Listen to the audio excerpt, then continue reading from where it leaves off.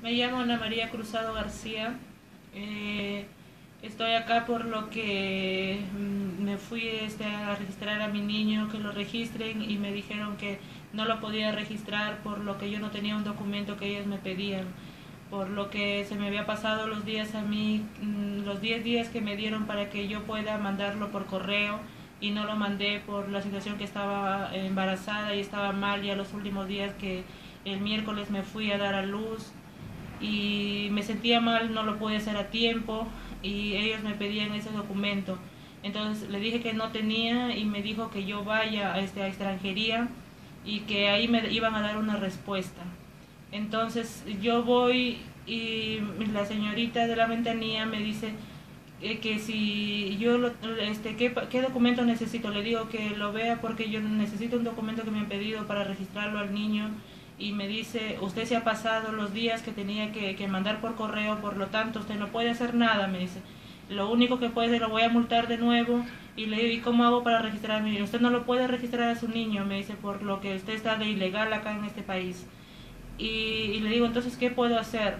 Le vuelvo a decir que no puede hacer nada, me dice.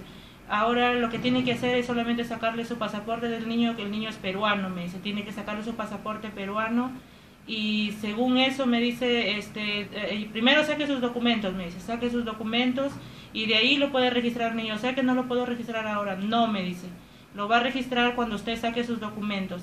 Entonces, señorita, le digo, este, explíqueme, yo no sé, le digo, ¿qué es lo que puedo hacer?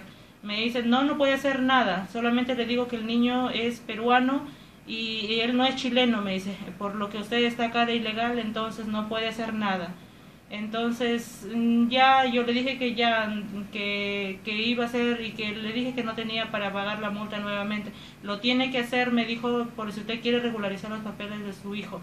Entonces hágalo y después ya vea lo que va a hacer, me dice.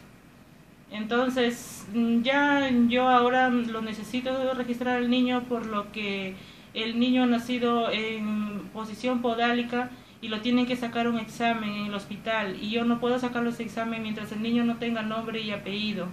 Entonces yo lo necesito urgente esos documentos que ellos me den, registrar al niño e ir al hospital para que lo puedan atender porque hasta el momento mi niño no se atiende. Y yo lo necesito, necesito saber porque ellos me dijeron que iban a sacar una prueba de la caderita a ver si él está mal y no lo puedo hacer hasta el momento. Ana María, ¿tú eres peruana? Sí, soy peruana. ¿Cuándo llegaste a Chile? El 15 de diciembre del 2013. Ana María, tú, antes de que nazca tu niño, ¿tú te presentaste a extranjería a pedir una visa, a quedarte en Chile? Sí, sí lo hice. ¿Te hicieron, dices, pagar una multa? Sí. ¿Pagaste la multa? Sí, lo pagué la multa.